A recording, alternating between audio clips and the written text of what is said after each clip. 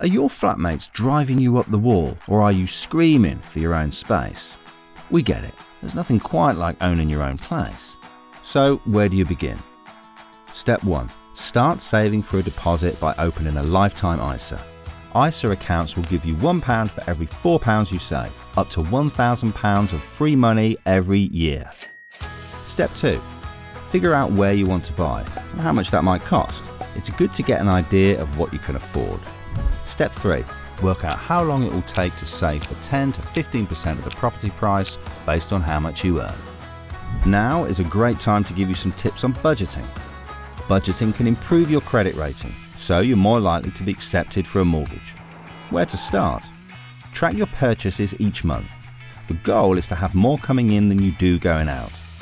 Plus, it helps to avoid any nasty surprises. Scrap any direct debits for those things you never use and set up a monthly debit into your lifetime ISA.